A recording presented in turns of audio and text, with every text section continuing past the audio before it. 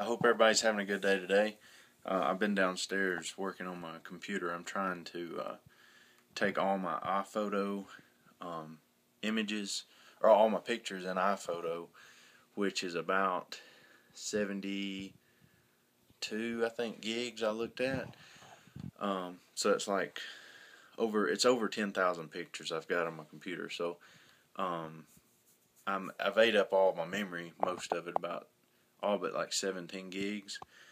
So I want to take those 70 gigs worth of pictures and back them up on a hard drive just in a file format and then I'm going to buy a whole nother hard drive to um, take my iPhoto library itself and use it externally um, versus having it on my hard drive on my computer all the time.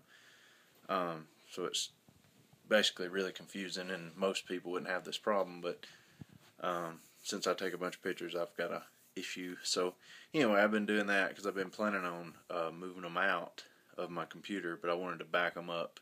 I've got them on Time Machine, which is another backup, but I wanted to back them up in a way that I could I could have a organized file folder for them. So I'm doing them by year and then month, and then by day, sort of.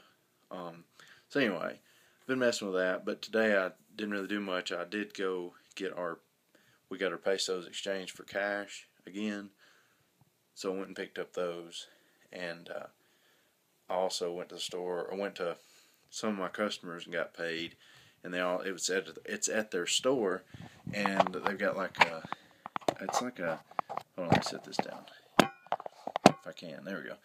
Their store is like an outdoor store. Um, they sell guns and uh, fishing stuff, lures, fishing poles, uh, scopes, all kinds of stuff. It's just like a sporting goods store, sort of, but for out for guns, hunting and stuff, knives, and uh, it's just one local.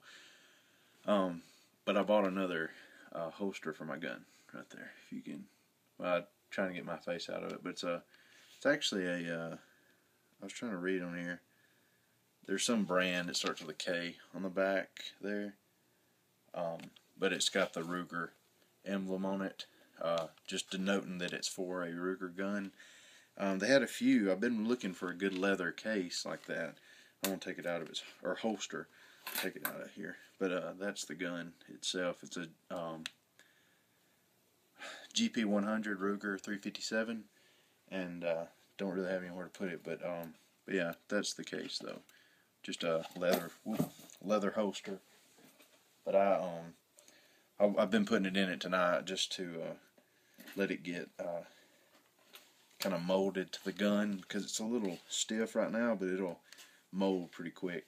I think it's already starting to kind of show um, some indentions there, right there, and things. But, uh, but yeah, that was the cool little uh, thing I bought today.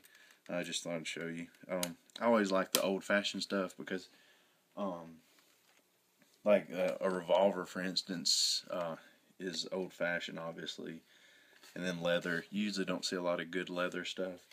And uh, I've also, I'll show you right here. I've got um, and I like cowboy boots and stuff. I buy stuff like that, but it's right here.